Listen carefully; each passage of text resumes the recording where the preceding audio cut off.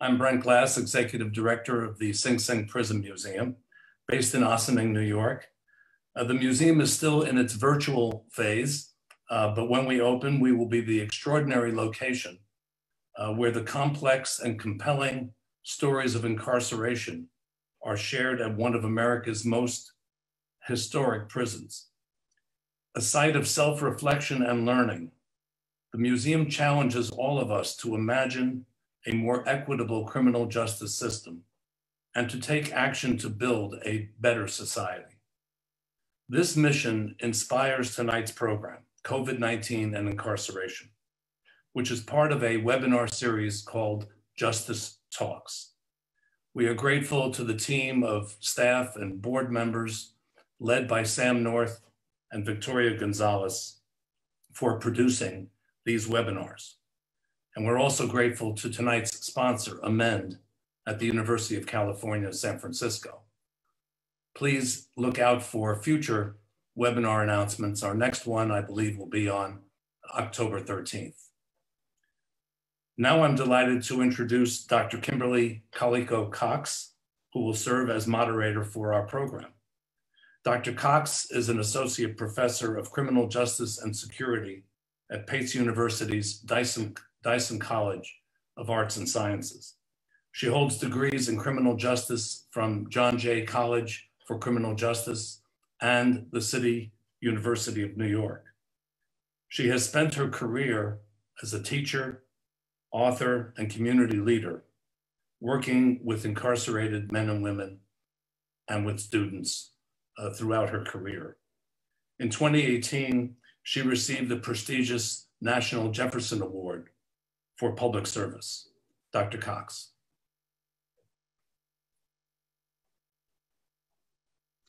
Hi, good evening, everybody, and thank you so much. Thank you, Brent. Uh, my name is Dr. Kimberly Collica Cox, and I am a criminal justice professor with Pace University, serving both our Westchester and our New York City campuses. I'm delighted to be here tonight with all of the participants who have wanted to take on this very important topic dealing with COVID 19 and our incarcerated population. Uh, just to give you a little bit of background um, on myself, uh, Brent had given a, a, little overview. I've been working with incarcerated populations for approximately 23 years, uh, first starting working with HIV um, and incarcerated women, but I actually taught my very first class at Sing Sing Correctional Facility. So the Sing Sing Museum is, is very dear to my heart. Um, currently now, as part of my position at PACE, I am directing the Parenting Prison and Pups program, which is a partnership that we hold with the Metropolitan Correctional Center and also the Westchester County Department of Corrections. It's a program where we are providing um, evidence-based parenting skills to incarcerated women that is integrated with the use of animal-assisted therapy. And just recently, we are providing an Inside Out program at the Westchester County Department of Corrections, where we have PACE students who are taking college credit courses with incarcerated men and women at the Westchester Jail. And that program is affiliated with the International Inside Out program um, at Temple University. So we're very happy to be able to offer uh, those services.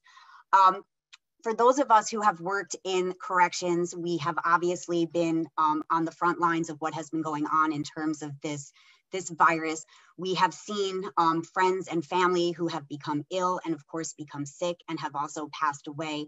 It has been very devastating um, for many people. I will say for myself, we have been quite lucky um, in my family. Uh, I was not infected with COVID. Uh, my husband, who's a sergeant at the Westchester County Department of Corrections, also was not infected. But my brother, who's a correctional nurse uh, at Sullivan Correctional, he did contract COVID. And my son in law, who's a correctional officer at Greenhaven, contracted COVID as well. And luckily, everyone has recovered. So my story is better um, than some of our others. But many of my colleagues during this time have lost family members, and it's been particularly devastating before we begin, just to sort of give us some context um, about where we have been and where we are, um, it was only in January, right, a little less than nine months ago, where the World Health Organization basically said that COVID 19 is a health emergency of international concern. And just this week, um, as you've probably seen on the news, we've passed this very grim milestone of 200,000 related COVID deaths in the United States, becoming the country with the highest number of deaths. Um, more people have died basically in the United States from COVID infection than any other country. And at the peak of infection, New York was hit especially hard, where we had approximately 800 people who were dying every single day. We know that anytime there is a communicable illness in the community, it poses significant problems and challenges uh, for corrections administrators, where social distancing is often very difficult and the environment can serve as an incubator for the virus. It was in March in 2020 of this year that Governor Cuomo signed Executive Order number 202, declaring a disaster emergency here in New York State followed nine days later by um, a declaration of emergency in our own Westchester County by County Executive George Latimer. Um, by September 15th, if we look at what the statistics have been in terms of incarcerated populations, and I thank the, the Marshall Project uh, for pro providing these up-to-date statistics on their website. When we look at what's been going on in corrections, we have right now 125,730 prisoners who have tested positive for COVID, um, and including that is 1,066 deaths. Looking at correctional staff, 27,632 prison staff, including 77 deaths as a relate of COVID infection. Taking it down to New York State, we have seen 755 cases with 17 deaths among our incarcerated population and 1,325 staff who have tested positive with five related deaths. These are not just numbers, these are people who are mothers and fathers and sisters and uncles and people who are loved by those who live in the community. And I think correctional administrators have had a very difficult challenge during this pandemic, not just because it's something that we have not seen, um, but because they have tried to provide essential services to a population that is in need of services because they suffer from things like high rates of mental illness and drug use, um, physical ailments, and there are essential services that needed to be provided. However, we also needed to take steps in order to mitigate transmission of the virus. So hopefully from this panel, what you're gonna see is in part one, we're going to talk a little bit about the current state of COVID inside of US correctional facilities. And then in part two, we're going to look at the way COVID has been handled and whether or not it's been handled correctly or incorrectly um, throughout the country in terms of how the Department of Corrections has dealt with this problem. And then we'll see about lessons that we've learned and moving forward um, what we are going to go forward and do. So without further ado, I would like to introduce our first panel um, who is comprised of three very esteemed panelists tonight. Um, our first panelist is Dr. Homer Venters. He is a physician and epidemiologist and a nationally recognized leader in health and human rights. He's involved in reducing traumatic brain injury among detainees and staff, as well as promoting access to evidence-based addiction treatment. He's the Senior Health and Justice Fellow for Community-Oriented Correctional Health Services, which frames correctional facilities as part of community healthcare rather than being viewed as a separate entity. They provide technical assistance and health information technology to improve correctional healthcare. He himself has led over 50 peer-reviewed articles, which have also been cited by the Supreme Court. Welcome, Dr. Venters. Our second panelist is Dr. Brie Williams. She's the founder and director of Amend at the University of California, San Francisco. Amend is an organization that is committed to changing correctional culture and brings a public health approach emphasizing dignity and humanity for staff and residents. Dr. Williams serves as a professor of medicine in the Division of Geriatrics the, as the director of the Criminal Justice and Health Program, and she has developed new methods for responding to the unique health needs of criminal justice involved older adults, including an evidence-based approach to reforming compassionate release policies. She's also designed a new tool to assess physical functioning in older prisoners. She has served as expert as an expert witness and provided testimony to the United States Sentencing Commission on changes to compassionate release policy. Welcome, Dr. Williams. And our final panelist is Roy Austin, who is an attorney and a partner for Harris, Wiltshire, and Grannis, which is a boutique firm that focuses on solving serious legal problems. Mr. Austin is a nationally prominent trial and civil rights attorney who spent 15 years as a federal prosecutor and supervisor. He served as a Deputy Assistant Attorney General in the U.S. Department of Justice's Civil Rights Division. He was also the Deputy Assistant to President Barack Obama for the Office of Urban Affairs, Justice, and Opportunity. He maintains an active civil rights practice, representing clients, including the family of victims who have experienced violations of their fundamental constitutional rights. He has tried over 30 jury trials and argued cases around the country in the state, federal, administrative, appellate, and state Supreme Courts. Thank you so much, Mr. Austin. Right, so thank you to everyone for joining and we are gonna begin with our first question. And our first question is for Dr. Venters. Um, Dr. Venters, you have been traveling around the country, entering prison facilities and detention centers. Can you please provide us with some examples of what you are seeing regarding the spread of COVID-19? Sure. Um, so hello, everybody. Thanks for having me. I apologize for the poor light in my hotel room in Jackson, Mississippi. Um, I've just been in the prisons here doing COVID inspections. Um, I should quickly say that I'm no longer with COCHS, uh, the nonprofit. Actually, in April, I left so that I could do nothing uh, but COVID investigations full time. So since that time, I've been involved in about 50 jurisdictions around the country and physically inspected about 15 uh, ICE detention centers, uh, state prisons, BOP facilities, um, and county jails. And so um, I just would make a couple of quick observations. Um, I think one is that there are many people that uh, have this label as uh, recovered uh, or we who uh, we think don't have active problems because of COVID, who actually have profound problems with COVID, uh, persisting symptoms. Uh, I've been in facilities where 80 or 90% of the people had had COVID, but it was months ago. And, you know, in these investigations, I've probably talked to two or 300 people so far who are incarcerated. And uh, many of the people who had COVID still have symptoms of shortness of breath, of weakness, of daily headaches, of ringing in the ears. Uh, but the way that our health systems are set up in jails and prisons, once they're out of medical isolation and the active concern about them being infectious to others uh, goes away, but there's very little or no documentation or care for them.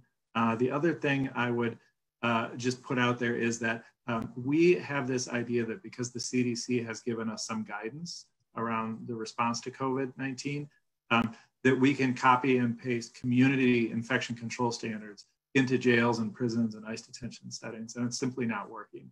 It's not working because correctional officers aren't healthcare providers. They haven't been trained in infection control. It's not working because of the physical plan, um, but also it's really not working because before COVID ever started, um, people didn't really have access to sick call the way a policy says that they're going to get a response within 24 hours.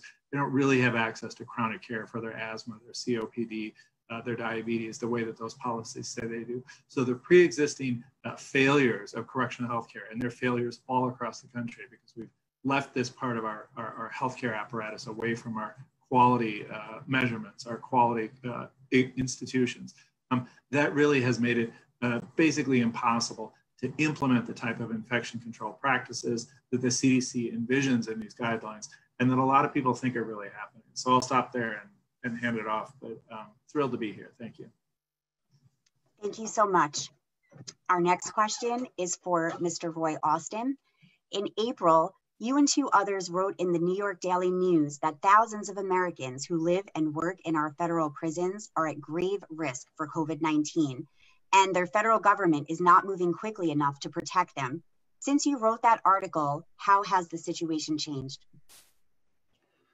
Thank you for the invitation, and I, I, appreciate being a part of this conversation. And the situation hasn't changed significantly. I mean, this, the situation has changed in, in, this country, and so far as it's gotten worse, uh, so far as the uh, the problem with COVID nineteen has gotten worse, and as people have grown increasingly uh, lax in the protections that they're taking that they're taking.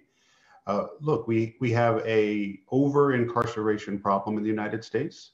We've had a healthcare system uh, in general that has been troubled, but the healthcare system in our prisons and jails has been uh, poor to, to say the best and horrific to say the worst. And of course, where you have something like COVID 19 in places that are not necessarily clean, in places where we have um, individuals in very close quarters, uh, where people do not have the ability to socially distant, distance themselves from each other, you're going to have a bigger problem. And what we have seen is we've seen a few uh, reform minded uh, elected prosecutors who have decided that they're not going to uh, fill the prisons and jails with uh, low level uh, offenders, that they are going to work with the system to release low level offenders as early as possible um, because we, we've got to lower the, the number of people who are incarcerated. And we're doing this And we're not seeing any significant increase in crime as a result of the people who are locked up. So while who were locked up and, and who are now being released.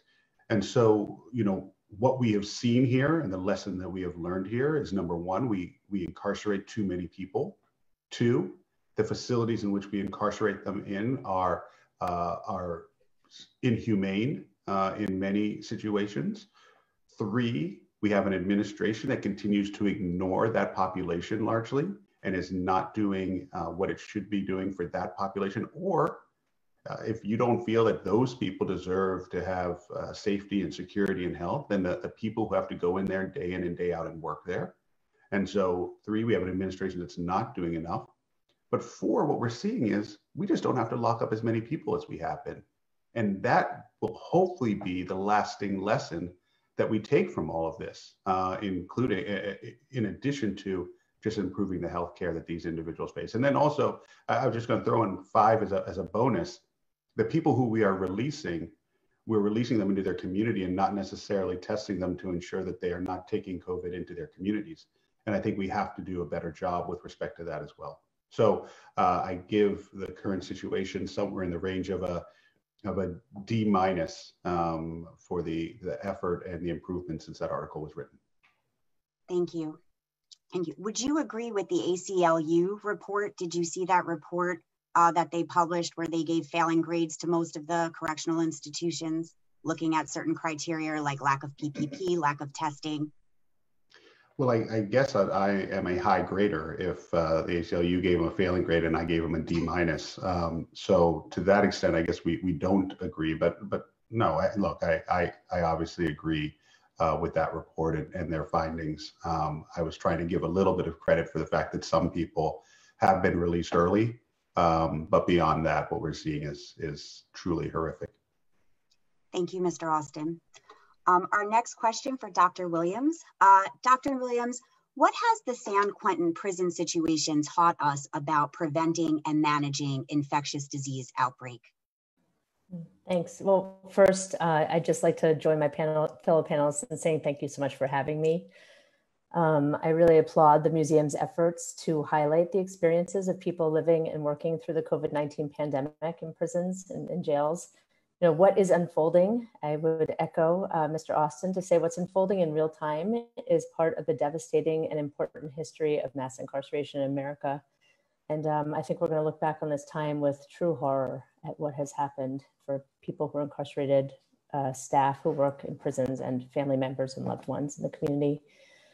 So um, I think not just focusing on San Quentin, but really focusing on many of the prisons um, and prison systems that our team has been um, working with, supporting, trying to work as thought partners with um, to figure out a better way to respond uh, to the to the COVID-19 pandemic. I'd say that there are several public health lessons in the first six months that we can take away um, that cannot eradicate the risk of catastrophic future COVID-19 outbreaks, but hopefully minimize them and the first one, as both of my other panelists have said, is decarcerate. We just, we have to reduce the population. We've been saying this since late February. Um, many of us have been saying this for years, but certainly in a respiratory pandemic, this is absolutely necessary.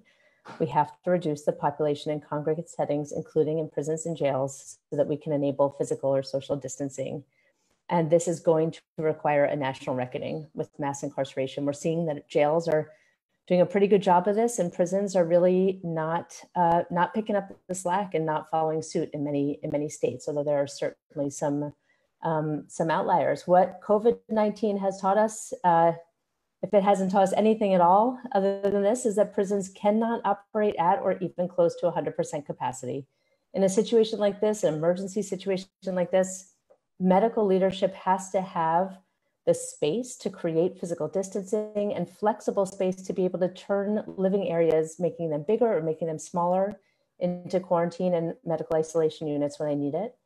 Um, and then that goes into some one of the second things that we've really learned um, in the last six months is that we have to develop ethical guidelines for the differences between medical isolation, the difference between medical isolation and quarantine, and the difference between both of those things and prolonged punitive solitary confinement, which is really what's being used in many prisons and jails across the country instead of quarantine and medical isolation. And it actually undermines the ability for the prisoner or jail to control the pandemic because people are not truthful about their symptoms or exposures for fear of being housed in this type of horrible situation. I think we have to improve occupational health. So everything from universal screening, but also paid sick days. A lot of a lot of um, staff members that we're learning about, either full-time employees or contract employees, do not have paid sick leave, and so are not um, are not incentivized to say if they've been exposed or having symptoms. Um, we need hoteling for people to stay in during outbreaks to keep their families safe. We need centralized outbreak response teams basically to support the healthcare staff on the ground so that they can take care of patients and a, and a system that comes from the outside that knows how to think about ventilation and sanitation and patient flow and resident and staff cohorting and testing. Those can come into the system and support the healthcare professionals there who are trying to do their job of keeping people alive. And then I would say um, you know, a couple other things is really making it clear to community hospitals that are taking care of enormous numbers of patients suddenly that they have not been used to in the past um, from that are transferred pr from prisons and jails. You know, a lot of community healthcare professionals professionals have never taken care of a person who is transferred from prison or jail, and they don't know if they have what their rights are. You know, they don't know that they can sign a do not resuscitate form. They can. They don't know that they can that they can call their families, that they have a right to self-determination to make decisions about what kind of health care they get. And so we really need to make it clear what uh, to community healthcare professionals, what the rights are um, for the ethical care of people who are incarcerated. And finally, um, and I think both of my other um, colleagues spoke to this as well, is that correctional system leadership has to be actively partnering with residents and their family members on the outside to identify meaningful solutions. This is not going to be a top-down plan that's going to work. We need we need to have people who are living and working in these facilities 24/7 to have ownership and uh, value in the decision-making process about how to keep their their home and their workplace safe. Thank you, Dr. Williams. Our next question for Mr. Austin. Have racial and ethnic disparities in incarceration become evident in the spread of COVID 19 inside of prisons? And if so, how? How have you seen this play out? You know, it's playing out in the same way that it's playing out in, in the real world. Is the uh, the number? First of all, we have um, over incarcerated Black and Brown men and women uh, for decades um, disproportionate to their uh, their presence in the in the community, uh, and you uh, add on top of that the frequency of uh, of black and brown individuals of having health uh, situations that make them more susceptible to COVID nineteen, and then you lock them up in a in a prison or jail uh, where they cannot socially distance, where there is a lack of health care um, in general. And so it is my understanding that the numbers that we are seeing and the impact on the Black and Brown community that is incarcerated uh, is is similar to, if not worse than, what we are seeing uh, out in the out in the general public. And what we're seeing in the general public, to the extent that we are keeping track of the demographic information of those who are being most impacted um, is clearly racially disproportionate. Um, and so uh, one would only expect that to be, uh, you know, many-fold in our prisons and jails, uh, which, you know, you take a population that you have people who already, uh, that some people already don't care sufficiently about, don't humanize enough, and then you add color to that um, and uh, the ability for them to advocate and to get changes made uh, takes some real courage. And we certainly aren't seeing that courage by much of the leadership in the country. Thank you. Um, Dr. Venters, the next question is for you. Uh, your unique experience as Chief Medical Officer at Rikers Island allows you to speak to the challenges of preventing the spread of disease and delivering medical care within this type of setting how have these unique circumstances posed challenges to containing the spread of COVID-19? Well, I think that it's important to recognize the huge amount of effort that's gone into slowing the spread uh, in most correctional settings.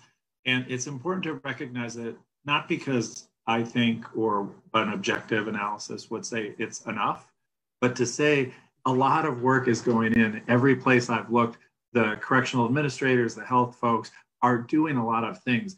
But one of the things that these settings are completely lacking is any sense of what's the numerator and what's the denominator. And so when it comes to healthcare, it means we can always get a list of all the stuff that got done, and you can get a list from every jail and prison about all the you know cleaning supplies they've bought, about all the, the, the memos and signage they've posted, uh, but you never really can get a sense of the denominator, which is what should they have done? What did they need to do? And that doesn't exist for a reason. And the reason is these are not accountable or transparent institutions, certainly not with regard to the healthcare. Um, so one of the big barriers to slowing the spread, obviously, is the physical plant. Uh, as Dr. Williams said, it's vital to decant or to have fewer people in each institution not only to allow for the creation of quarantine and medical isolation units, but to have half or fewer people in a housing area than originally designed so that people can uh, have some hope in social distance. But a great example, I saw a question about this has to do with masks. You know, I've gone all over from like Florida all the way up to New York and Connecticut over to California. And one of the consistent things I hear is that uh, on the nights and the weekends, officers don't wear masks uh, supervisors come in during the day and they put a mask on. Um, I have yet to come into contact with people that are doing basic quality assurance about whether or not officers are wearing masks. And that's possible with video surveillance. You could review uh, a subset of video surveillance to see. Uh, instead, most places have a, an approach that unless a staff member sees another staff member not wear a mask, it's not really credible for uh, instituting a disciplinary action. So what it does is it completely puts aside or ignores the voice of the people who are being affected by this, uh, which is incarcerated people. Uh, it also then erodes any engagement about the other infection control issues. So uh, I think that the lack of quality assurance, basic standards, and metrics in how we implement whatever the task is, uh, it's pre-existing, but it also makes it very hard or very difficult the implementation of anything new uh, for more than a couple of weeks. Have you also seen reluctance on the part of incarcerated men and women in terms of wearing their masks? Sure. I mean, I just, you know, this report is public, so I can say this. I was just in Farmville, Virginia, where that ICE detention center has about 90% of people had COVID. That COVID outbreak was caused by uh, the transfer of people into the facility and pushing aside the normal uh, new admission quarantine process. Uh, and so when I got to that facility, uh, you know, everybody there got COVID because it was introduced to them. They were subjected to COVID. So they all had it. Some of them got sick. A gentleman from Canada, an older man, died. Um, and so now, all of a sudden, because it's in the press, the facility, uh, and I wrote this in my report, is implementing uh, mask wearing. And the response when I asked the people who were detained, uh, what do you think about this? They were like, why should we put on a mask or do anything they say when they let us, they actually subjected us to COVID. And the result is we got sick and, so, and one of us died. And so that lack of empathy and engagement with the people who are incarcerated is more toxic to infection control than any other like policy uh, problem that I've seen. Thank you so much, Dr. Venters. Um, our last question is for Dr. Williams. Uh, Dr. Williams, what can be done to better protect correctional officers and all staff in their places of work? And why is this so important to consider correctional staff as well as our incarcerated population? Thanks. Um, yeah, I, I, touched on this a little bit, but um, for many uh, for many years, many states have not had adequate occupational health, meaning programs uh, for staff that uh, are specifically focused on their health and well-being. Correctional officers have oftentimes many of the same sky high rates of medical conditions, including sort of what we call the bread and butter conditions of self-destruction, diabetes, hypertension, heart failure. People have very high rates of substance use disorders and exceptional rates of of early suicide. And so before COVID 19, the occupational health of correctional officers was suffering. I think um, what COVID 19 has taught us is that there was really not a lot of backfill in terms of uh, having a plan and a support structure to optimize the care um, during something like in a worldwide pandemic, which you know we, we very much knew was eventually going to happen. And so a lot of systems have found themselves scrambling to figure out what do we do with officers who don't have health insurance? Can we provide them with testing?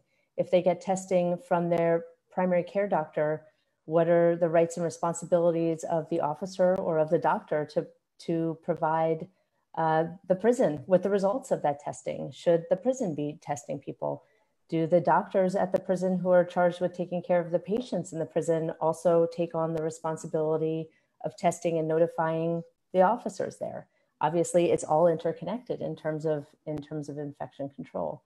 And so I think what we're seeing is this need um, in the absence of, you know, a, a, a national plan around healthcare in general and around COVID in particular, it's sort of playing out in real time in the prisons where it's very unclear how to look at two populations who are all in, in the eyes of a virus the same and uh, and differentiate the different ways to be trying to provide care. And I, I would just say the the final thing that I would just really want to underscore is hundreds of thousands of people of correctional officers and correctional staff and healthcare professionals are entering and exiting these facilities every day.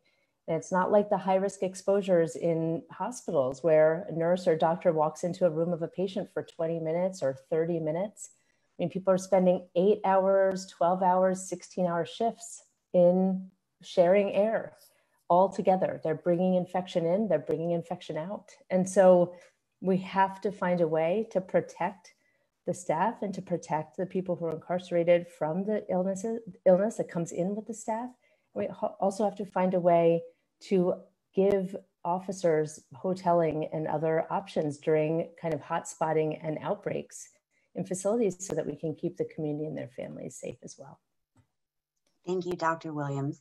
I think you brought up a very interesting point um, earlier about jails doing a better job at controlling the uh, pandemic than prisons have.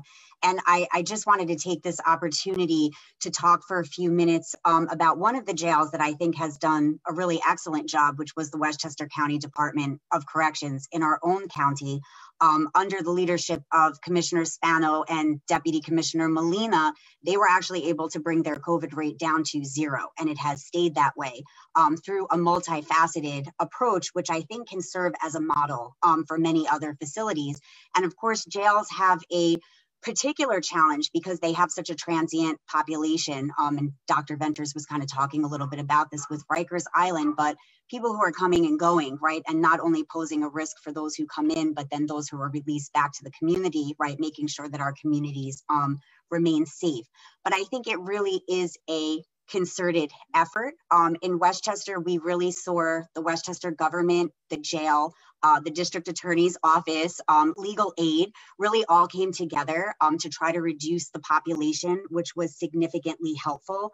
Obviously, bail reform reduced our population significantly in Westchester, pretty much by half, where our population was down to about 500, so that we could discontinue the use of dormitory style housing, um, which was extremely helpful they were able to work with um, the district attorney's office and the legal aid society in facilitating not only medical paperwork to help inmates um, be released early for COVID related policies, um, about 65 were released in Westchester during that time, but they were able to assign six correctional officers full time so that the incarcerated could meet their court appointments, right, and see the judges and go through their their arraignments and their hearings, and so there wouldn't be such a backup um, with all of those policies and processes.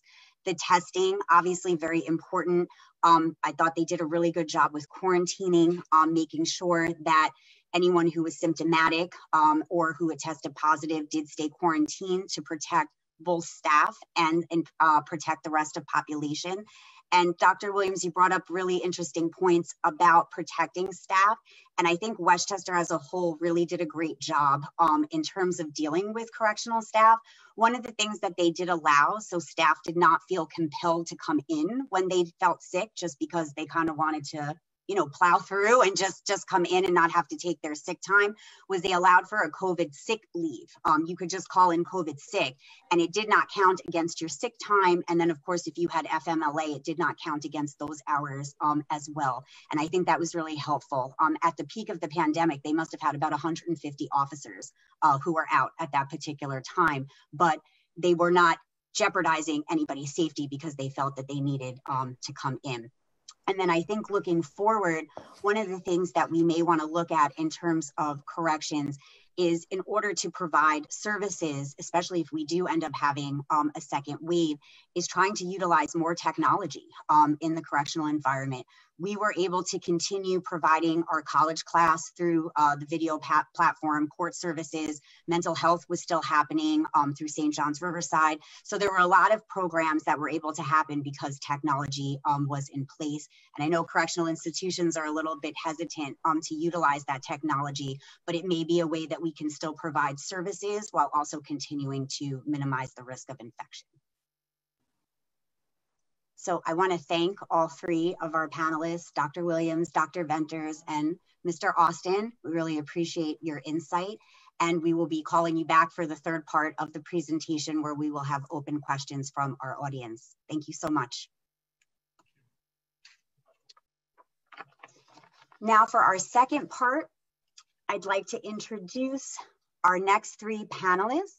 And we're at this particular point in time going to look at the way that COVID has been handled and whether it's been handled correctly or incorrectly um, in US prisons and jails. And what lessons can we take away basically from this analysis? So, our first panelist, Miss Chazidy Bowman. Uh, welcome, Miss Bowman.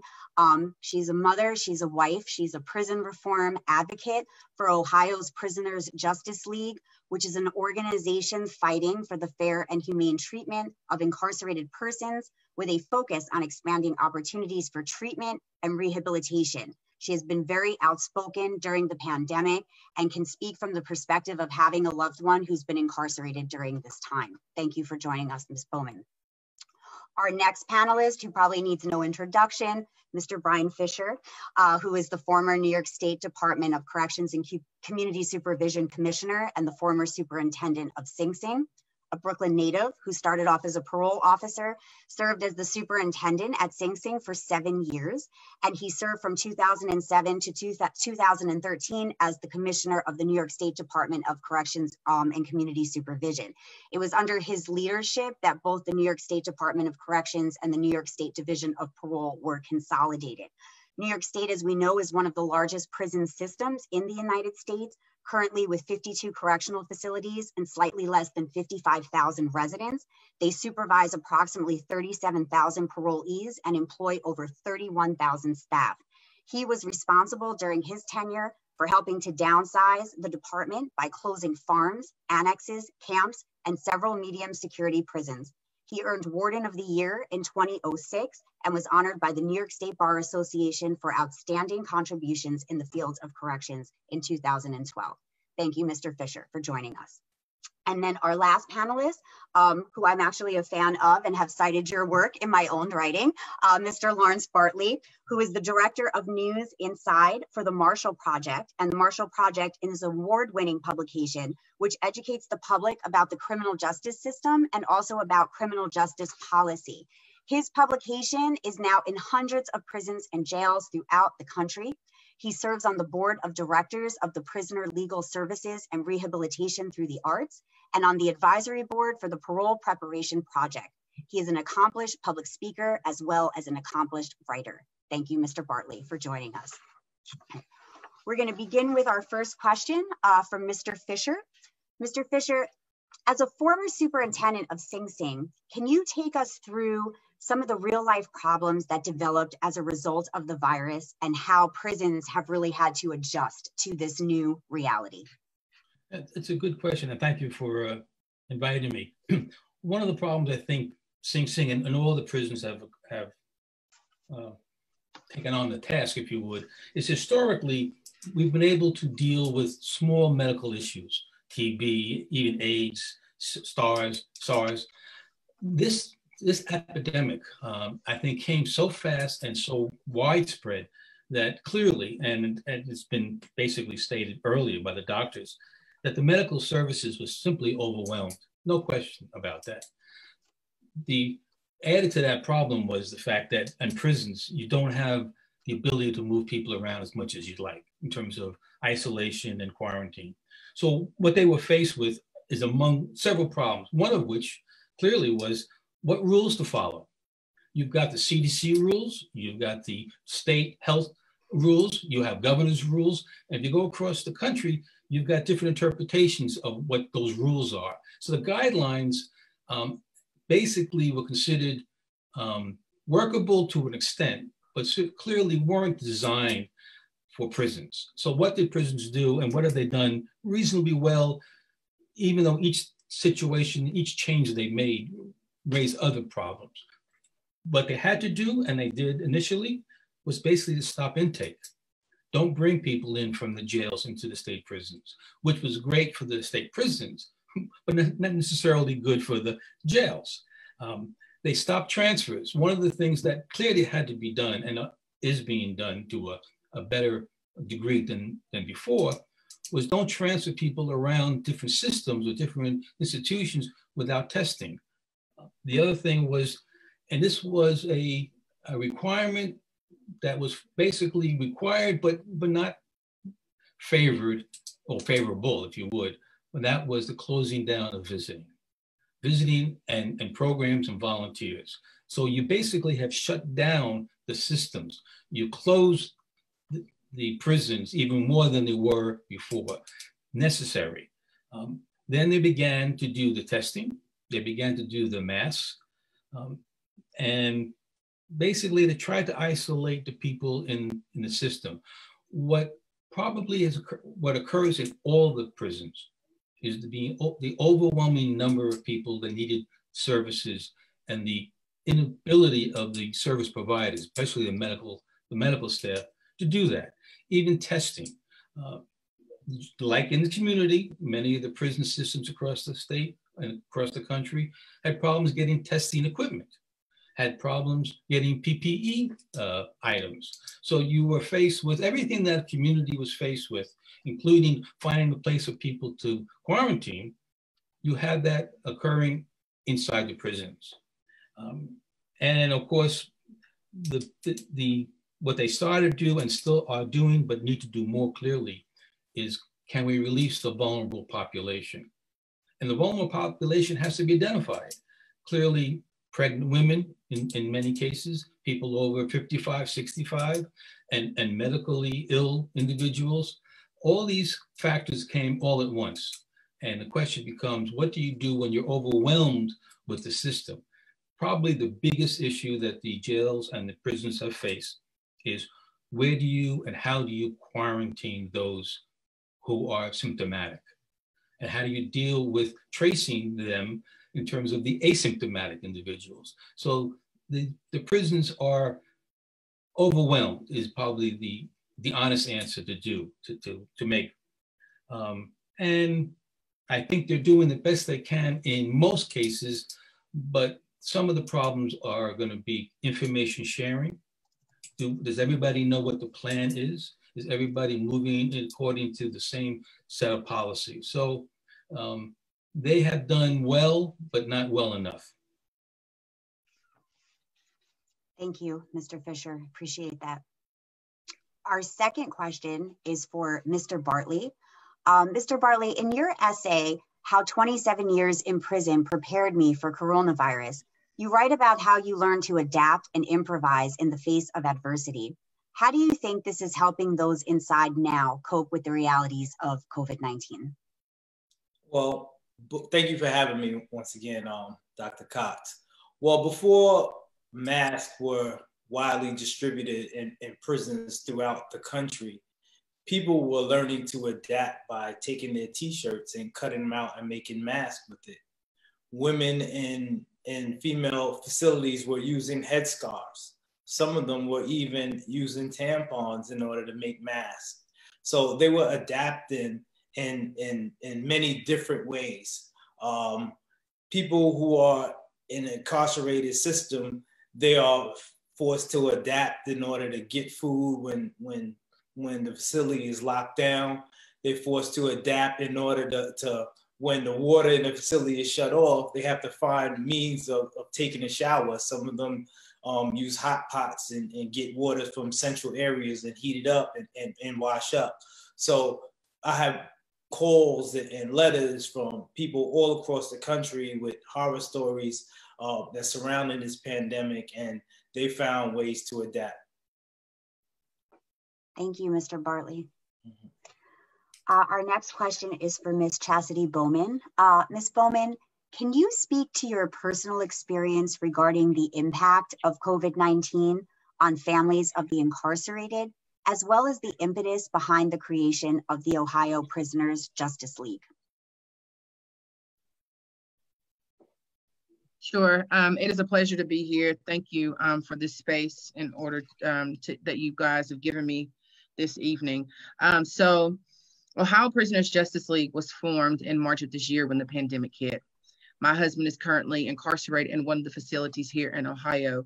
And so, what we were experiencing were um, miscommunications and information from the Department of Corrections and from our governor. So several women, several women, women, including myself, decided that we wanted to be more proactive than what we were seeing the state um, take any kind of measures immediately to um, try to avoid the widespread of COVID in our facilities. As you know, Marion Correctional Facility is number three in the country.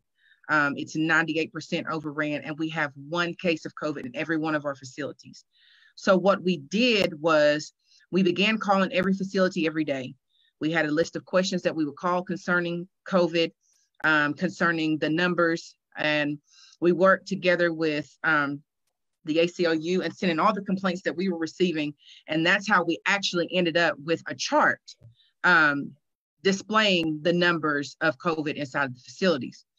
Well, as time went on, what we were hearing from the governor and from the Department of Corrections and what was actually happening with our um, loved ones was two different sides of the story. My husband actually contracted COVID 19 in the facility. And when I tell you that, as much as we would like to paint a picture like our departments of corrections are doing everything possible, that is absolutely not true. I have recorded conversations of nurses um, denying care. Um, I had to call for four days to get my husband care, who has a chronic asthma, and he was very critical. Still to this day, they still have not told us if he was positive or if he was negative. You have men and women who are afraid to say that they have symptoms because they are placed in solitary confinement for 14 days without any care. Yes, they have a nurse that comes around daily to do their to check their vitals one time a day, but that is it. They are left there to either get well or to die. Um, I am known for just telling the truth and telling it like it is because there are 2.3 million people incarcerated in this country. And if everybody was doing exactly what they needed to do, we wouldn't be on this panel. Um, I know that right now, flu season is coming. There's no medicine available right now on commissary or for from the state um, access access SurePack where they ordered their boxes. There's no medicine. We were trying to, as an organization, prepare people for a cold and flu season because COVID is still rampant in the facilities. So they don't even have access to medicine. They don't have access to hand sanitizer. They do not have access to these things. We have pictures. We have went to our senators. We have told our representatives. We have went to the state and we have pictures from the inside of officers not wearing masks, refusing to wearing masks, recordings to prove all of our claims, but yet they're being ignored. And COVID is still running rampant in our facilities. So, yes, we need to purge the system. We are 137% overpopulated. When we weren't supposed to have receptions, we were.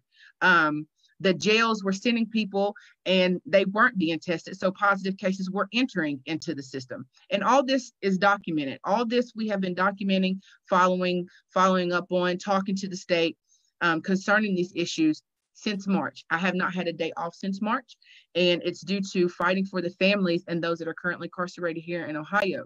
So, what we would like to see is across the board, we would like to see a purge of the system so social distancing can be um, implemented. We would like to see the negligence um, being dealt with as far as our doctors and our nurses. I know in my husband's case specifically, five days, four to five days, I had to call the facility day in and day out to get him care. When he did receive care, he was he was referred to his chronic care doctor, which in turn had no idea that he had COVID-like symptoms. It was not recorded or reported to that doctor. And he was put in quarantine for 14 days, and we still didn't get the care that he received. So being a wife and an advocate, it gets very stressful because of the resistance that we see from the state and federal levels. You know, federal, they do a whole lot better concerning this issue, but on the state level, we're seeing a lot of resistance. We're not, the, the officers and those that are working there coming in and out, they're not getting the proper pay. They're not getting the proper PPE. So that raises tension between incarcerated people and officers, you know. So that's the problem that we're seeing here in Ohio. Um, some states that I'm working with, we're also seeing that. We're seeing the abuse cases rise um, because of the tensions inside of the facilities. Um, so, it, I mean, it's a lot of underlining things and a lot of things that people just don't want to have the hard conversations about, but it's the truth. And so we need to really start addressing these issues and figure out a solution to this problem because it's going to get worse due to cold and flu season coming and we need to be proactive now. There are plans set in place, but they're not adhering. Each facility has their own um, has their own plan, and so it causes the, the the lines of communication to be broken. So if I could say anything on this call, we have to work together um, across every state and join together to create a plan and hold these states accountable and these federal facilities accountable for being proactive to take care of our loved ones. Thank you for that, Ms. Bowman. Um, our next question is for Mr. Fischer. Mr. Fischer, many have advocated for the early release of at-risk and non-violent inmates. What challenges do prisoners face in making this happen? That's an excellent question, and, and is one that seems to be um, problematic for, for the systems to handle. There really is no reason why we could not release more people. Uh, earlier was said, and it's, and it's been documented, that early releases of individuals from prisons does not impact negatively on crime in the community. So we could do more. Um, we have to define, there has to be a will to release people. And we have to define who is the most likely uh, who should be released. And that has to do with the medical needs, that how long before they're released. Certainly people who are six months or less before their release. There is really no reason why they could not be released, except now on the other side, except where are they going to go? Do they have a, a reasonable plan in the community? We're not going to certainly send people to a, a home if COVID 19 is in the home. So there has to be a relationship between the, the, prison system, parole, and the community services. One of the things that is lacking in many other states is the inability to, to send somebody home early to a community support network. If we had more network halfway houses or residences that would accept ex-offenders with or without COVID, we could then release more. So the question becomes, who should who should go out?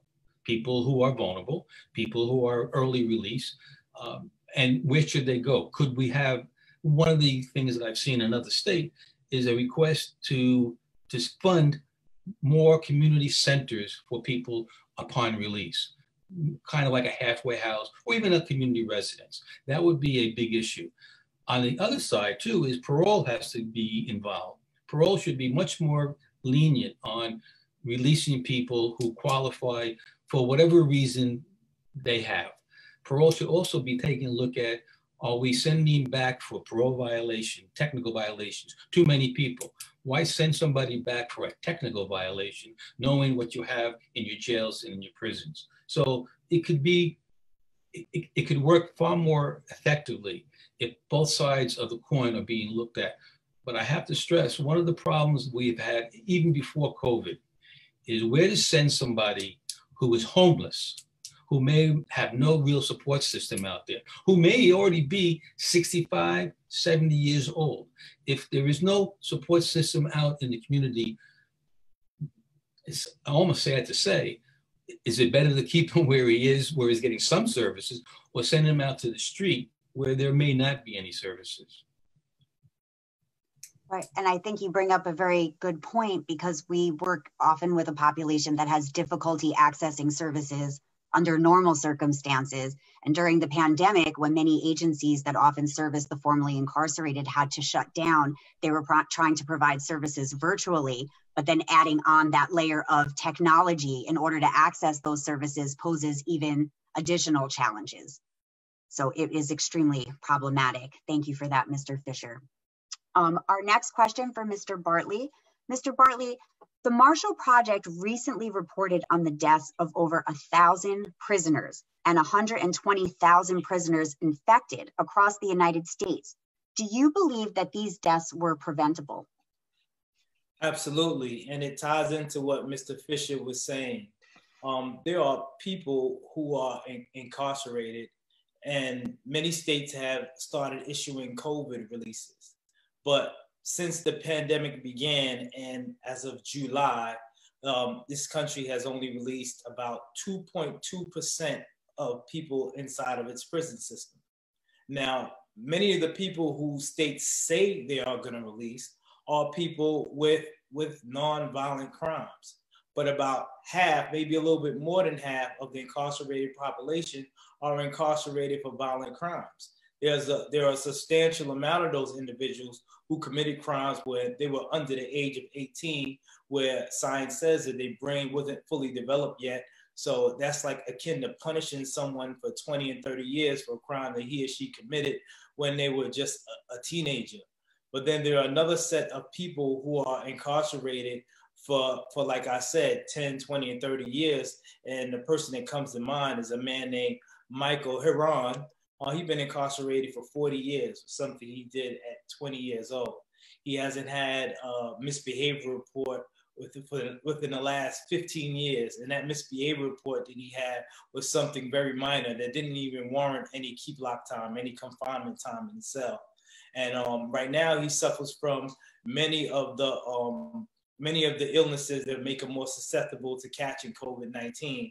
But his um his his bid for clemency that's before the governor had been collecting dust for years. And there's many people that fit that criteria. I could even talk about Rahsaan Thomas in in um, California. He's in San Quentin. He hosts one of the most pod, most popular podcasts in the country, Ear Hustle. He's been up for clemency. He's been denied. You know, he has a stellar record. Every almost everything this guy writes gets published, but yet he is made to languish in prison for, for years on end without knowing if they're going to get out. And, and many of those, those men in San Quentin had came down with COVID-19 after not ha- after having zero cases for at least two to three months in a pandemic because of transfer from people from Chino with over 100 of those people were infected. They infected the San Quentin population. So that's just to show you how easy it is for someone to lose their life.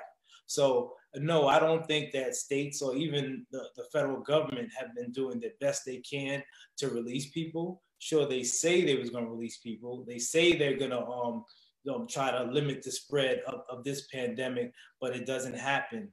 Where you see businesses are, are forced to operate at 25% on the outside, you don't see correctional facilities and prisons operating at 25% or trying to move towards that number.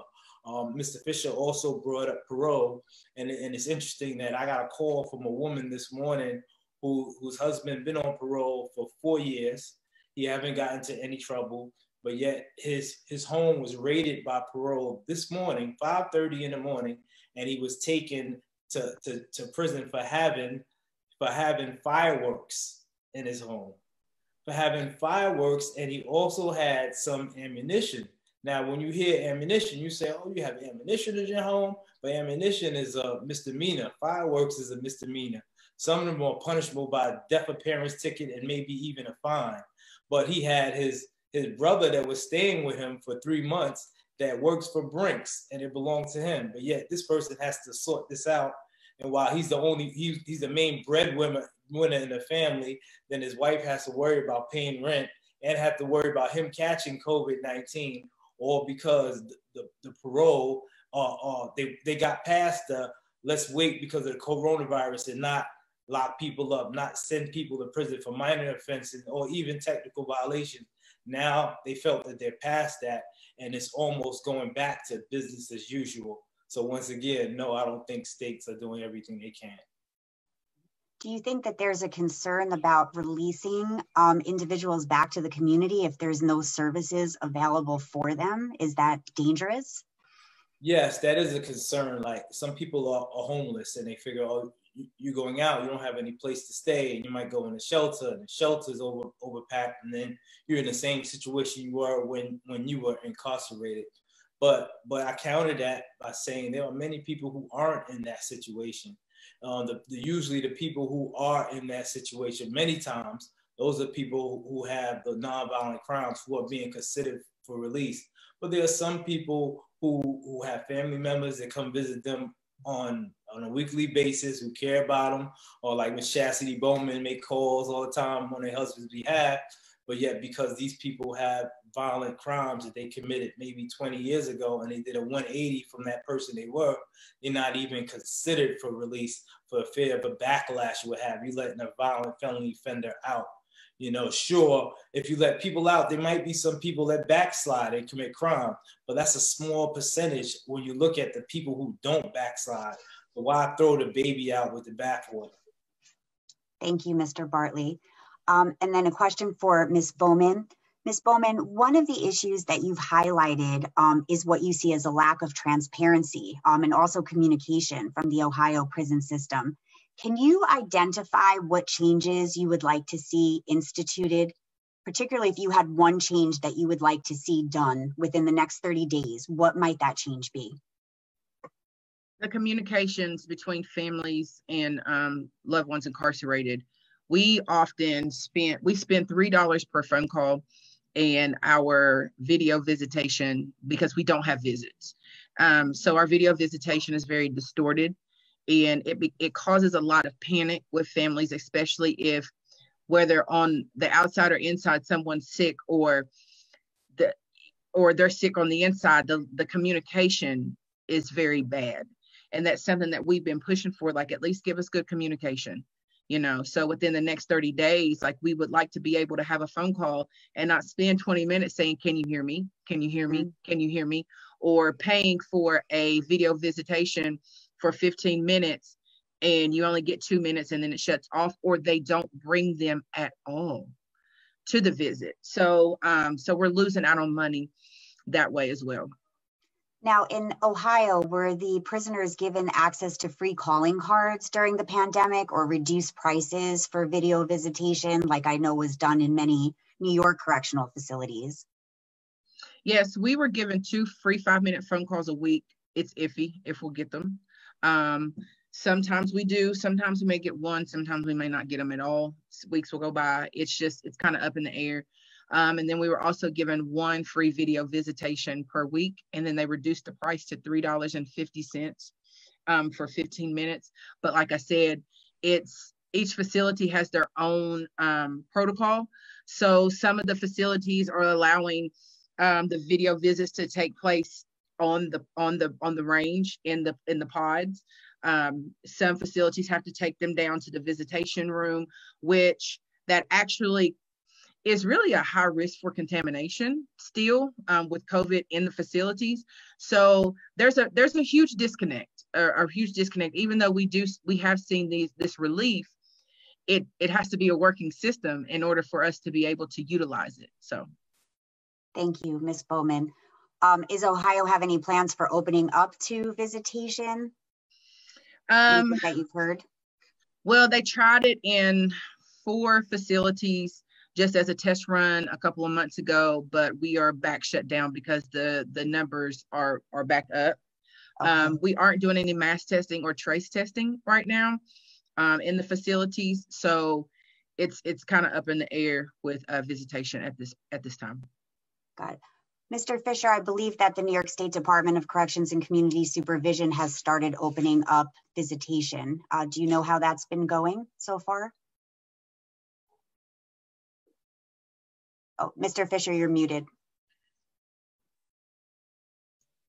Yes, it's, it's working rather well, but not enough. And again, it it, it raises an issue that uh, Mrs. Bowman and, and others have, have kind of raised, and that has to do with the emotional impact this virus has a, has happened on staff and and prisoners and family, so that every little thing that we could do to um, alleviate the tension, to, be better informed about what was going on, is a positive approach.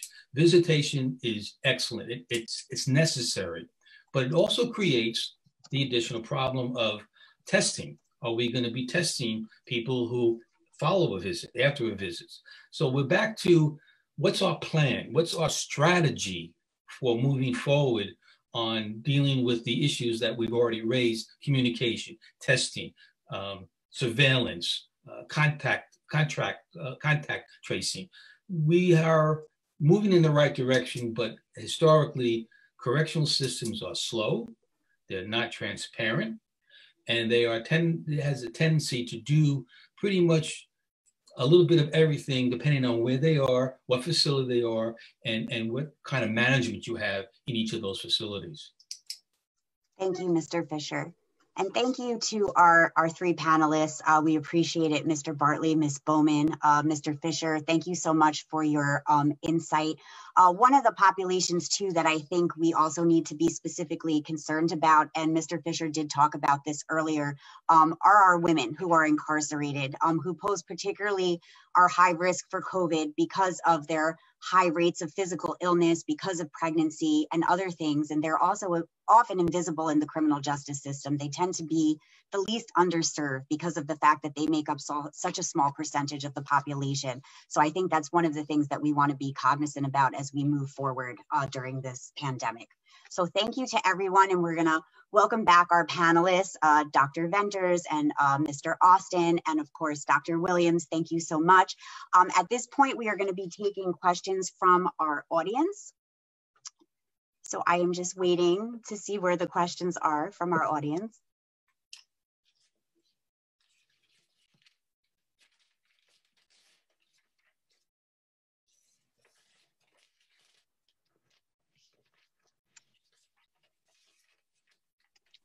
Hang on one second.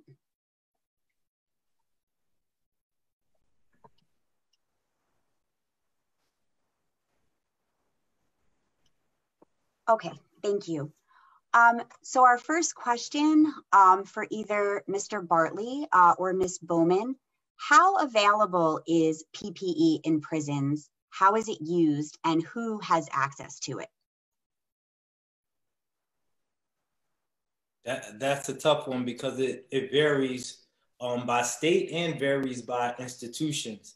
Uh, some states are quicker than others, and they were started with the elderly population, and other states have started giving it to, to all people. It, it's similar to the way we are tested on the outside with the swab in the nose. Um, but but I've heard I heard instances where one state said they was going to test everyone interested, but they got to about a third of the population and then they didn't test. Um, but that can be due to the lack of resources and, and a lack of testing materials as well. Thank you very much. Um, our next question, and anyone can chime in to answer, but maybe Mr. Fischer, this might be a question for you. Uh, what can be done about correction officers who do not wear masks?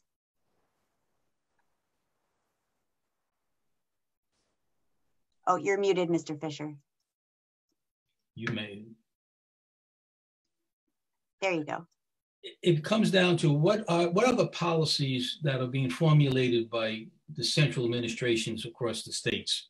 Clearly, masks should be required. However, we have the problem here in America in the community that there are people who don't agree with wearing masks. Masks should be mandated. They should be mandated for all staff and they should be mandated for all prisoners. That it's clear that use of masks will uh, certainly prevent the, um, the virus from spreading. So my position is masks should be mandated. Now, if you make it a rule, the question then becomes, what do you do for those officers and, and prisoners who refuse to wear a mask? And that's where it comes back to what is the policy? What is the, the agencies want to do with both um, incarcerated people as well as the staff when they're not following the rules? Thank you, Mr. Fischer. Uh, Ms. Bowman, one of our questions is from the audience, what isn't being talked about enough? What do you think we should be talking more about that we're not addressing at this point? That the issue is not resolved. Um, we are, even though time is passing and it's COVID has become so normalized that we're kind of getting away from it. And the issue is not yet resolved in the facilities. And it's one thing that i say everywhere i go. As long as there's covid in prisons it will always be in our communities. And so we have to truly get uh, buckle down. I mean 2.3 million people that's a lot of people. And so if we do not tackle this problem now and keep it fresh in the minds of the public and how it affects them because a lot of times people disassociate themselves with prison because they don't have anybody that's they're not directly impacted by it. So it's out of sight out of mind when it really is a state of an emergency. It is a public health crisis. And if we don't do something about it covid will always be in our communities as long as it's in the prisons. Thank you ms bowman uh, our next question is for dr venters dr venters in reference to the positive tests what percentage of the people who test positive are actually sick? And do you find that many are asymptomatic? Yes, uh, like in the community, um, it really depends on how we approach testing. So in places that, uh, particularly in the early days where most people who were getting sick uh, weren't even tested, the only people getting tested were the sickest folks. So they were very symptomatic, they were very ill. Uh, as time went on and testing expanded, um, with contact tracing and even uh, now uh, testing whole groups of people. Um, you have a lot of people that when they're tested don't have symptoms. But one thing I want to point out is there are a lot of people who have positive tests um, who were sick weeks and months earlier, but the prison or jail or ICE detention system didn't respond to their sick call, didn't find them or give them the care they need. They have medical records now that say asymptomatic, but the fact is they were ill uh, and the system simply didn't respond to them when they when they needed help and care. Um, so as the testing expands, just as in the community, we have more people uh, who have uh, positive tests but who are asymptomatic. Thank you. Our next question uh, is for Mr. Austin. Uh, Mr. Austin, since COVID began, how have the courts responded regarding compassionate release, especially given the new procedural changes from the First Step Act? Have the courts been generous in granting compassionate release to those who are at risk, or have they been hesitant? So I think, like every every other answer to every other question, it, it really depends. Uh, courts and judges and everybody else have been all over the place. I actually have a client who was released early, uh, who had um, who was concerned about COVID, uh, released uh, approximately two months early, but only had a, a sentence of about about seven months. Um, I, I, think the you know the, the issue is is that compassionate release and like everything else in our in our criminal justice system, there's an enormous amount of discretion. Uh, we were also fortunate enough to have a an assistant United States attorney on the case who was uh, thoughtful and, and recognized that this person did not need to be in that in that setting uh, and was willing to um, to not fight uh, the the early release. So uh, it, it, it simply depends, and, and this is again, um, and I, I, think people have asked kind of what what can they possibly do about this, and, and the thing is to vote, is to vote, put people in office who actually uh, care about criminal justice reform, who care about uh, the human beings that we lock up in these facilities. Um, vote both at the, at the presidential level, but also at the state and local level. I mean, that having a reform-minded district attorney matters. Uh, having a sheriff who gets this issue matters. Uh, so don't vote law and order, vote common sense and vote humanity. Thank you, Mr. Austin. Uh, Dr. Williams, since compassionate release is really your area of expertise, can you provide additional insight on this question? Sure. I mean, uh, I would agree with everything uh, that Mr. Austin just said. I'd also say that um, the information I'm going to give you is from the Families Against Mandatory Minimums, um, which is a legal organization that helps to represent people uh, requesting compassionate release on the federal level. And uh, they tell me that in 2019, 145 cases of compassionate release were approved. From January through February of this year, before the outbreak, 22 were approved. And in total, this year, since January, uh, over the past six months, 1,500 have been approved. So unfortunately, what we're still seeing is that there are more no's than yeses in compassionate release requests. The other thing to know is that these are federal requests. And so we don't have the First Step Act that applies to the states. And we have different policies depending on what state you're in. And certainly if you're in a jail, there's still another set of local um, legislation. But just to say that one of the biggest um, and most important things that we need right now are physicians to sign up at FAMM, the Families Against Mandatory Minimums, and agree to do these um, compassionate release evaluations for free. Um, and you are able to uh, link to their website at FAMM and uh, sign up. So I would, I would encourage anybody who's in healthcare uh, to do so. Thanks. Thank you for that information and for that important resource. Um, our next question um, could go to Dr. Venters or Dr. Williams. Um, are prisoners tested before release? What are you seeing? um, in where you're you've been working and the places maybe that you've been visiting is there testing being done regularly before folks are released back into the community um, i'll just say the places i've seen um, the, Bureau, the federal bureau of prisons has uh, largely adopted a test in test out model um, sorry about my video um, so the Federal Bureau of Prisons has adopted the test in, test out model where people are tested both on the way in and also on the way out generally.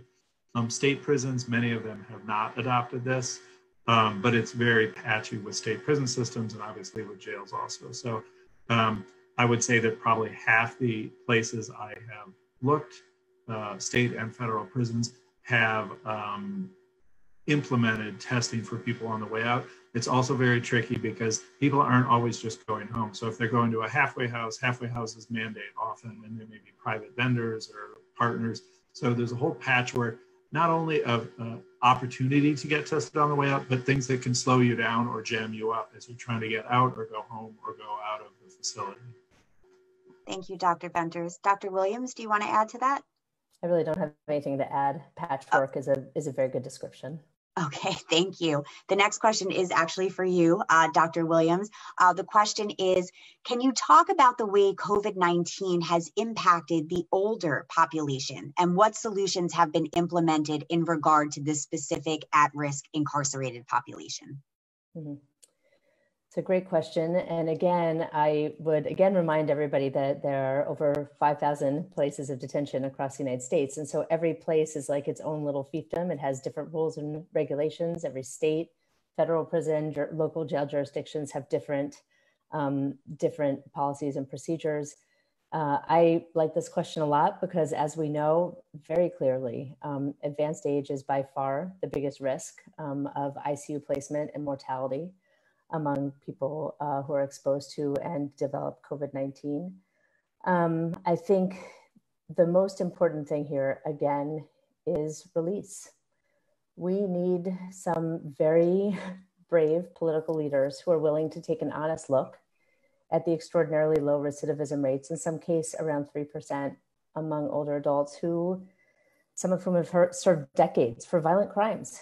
Because it turns out when the people who are most at risk of serious morbidity and mortality from COVID 19 are often the very same people who are not getting out due to indeterminate sentences, you know, 10 to life, 15 to life, and nobody wants to sign off on them getting out. But they are actually also the people with the lowest rates of recidivism, and many have the most uh, family and community supports to ease their reentry. So it feels to me like the most important thing we can do in the community is give political leaders and policymakers some political cover to say that we really a groundswell of support to say that we understand that right now public safety and public health are entwined. Um, as one of the panelists said, we're not going to get control of this pandemic until we get control of it in the prisons, and we're not going to get control of it in the prisons until we get some people out. I'd say the other really important thing for older adults that uh, people are doing now is, and this is devastating, but it's the truth and it's the right medical practice, which is clarifying next of kin and advanced medical decisions. Mm-hmm. Um, asking patients what's important to you, what makes life worth living, what would be a state worse than death. So that if you are not able to make medical decisions for yourself somebody knows what medical decisions you would want and somebody knows what next of kin you would want to be making medical decisions for you so that your wishes are being are being um, kept and followed in community hospitals. It's a devastating time for older adults in prisons. Thank you. That's very important information. Appreciate that. Um, our next question is for mr austin uh, Mr. Austin, is it a federal civil rights violation to fail to provide a safe environment and basic health care for the incarcerated? So I would argue yes, but uh, you know the, the uh, issue here, and, and in so much of the, the work that's done in prison and prisons and jails, is that the the law has not always followed the again the, the common sense of these issues. So um, you have basically a, a, a the idea of failure to keep from harm and so to keep people in a situation where they're likely to contract COVID 19 um, would certainly be a failure to keep from harm. I, I, actually think the, the best place for this argument to be made, um, but unfortunately they don't cover the Bureau of Prisons, is the Department of Justice's Civil Rights Division um, under an administration that actually cares about civil rights. Uh, because it would look at these issues and would, uh, I suspect that it would look at what is done at the Bureau of Prisons and find a violation, but it is not allowed to look at federal facilities. Uh, but it could look at state facilities, And where you have state facilities where you have massive outbreaks and a failure to actually ensure that people are safe. I think you would find a, a violation. Now, that's a civil violation, which just requires the prisons and jail to fix the problem, which doesn't do a whole lot when your loved one uh, dies due to COVID in a in a prisoner jail. And I, have yet to see a, a case brought um, like that. But I would like I would like to see someone do that and, and bring that kind of case and, and maybe uh, finding uh, that the prison is responsible for the death of an individual might get some people to change their ways. Thank you. Are you going to represent them on that case? You know, let's um, let's talk about that. Let's talk about that. Thank you. Uh, our next question for Mr. Fischer. Um, how can we push for action to decarcerate? Well, I think the answer has been ex expressed several times by the, my colleagues here, and that is get people to vote for people who want to make those changes. What's missing, and, and I've done this, I've, I've, mentioned this at other places. Um, in many, many cases, the prison system is a reflection of the political system the your wardens and your commissioners they, they don't make the, the sentencing rules they don't make the rele- release rules. They don't do a lot of those things. It comes from the legislature. It comes from the governors. It comes from the federal government. If you want to change the system you've got to change the law. If you want to change the law you've got to change who who are making the law. Thank you mr fischer um, our next question, which I think any of our panelists could answer, uh, why do you think prison systems have been so slow to release people who have underlying conditions but pose little to no risk of reoffending? I think it's just really a it, it's really just an issue of budgeting. To be honest, I, I think it's it's it's really more of a money issue than anything. In the 2019 annual report, um, Ohio Department of Corrections, and you can look at this on their page. 15,000 people are considered high risk. So they knew going in that 15,000 people were at risk um, by CDC guidelines for COVID. And for us, we were advocating just give us those 15,000 people. They're elderly, they fall under all the guidelines. And we don't like to make a difference in between violent and nonviolent offenders because studies have shown that non uh, that violent offenders are less likely to reoffend than nonviolent offenders. And in our state, we have the population of 49,000 people that are incarcerated. 33,000 are considered violent. And that could mean anything. That could mean you got caught with a gun, but you didn't shoot anybody, but you're a violent offender. So um, when we when we say like as far as release, we try to just keep the lines no gray lines, no gray areas because they're all people.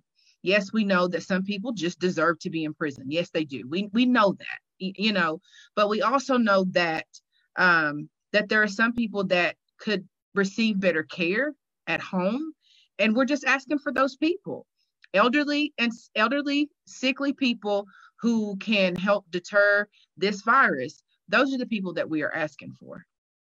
Yeah. Thank you, Ms. Bowman. Does anyone else want to add?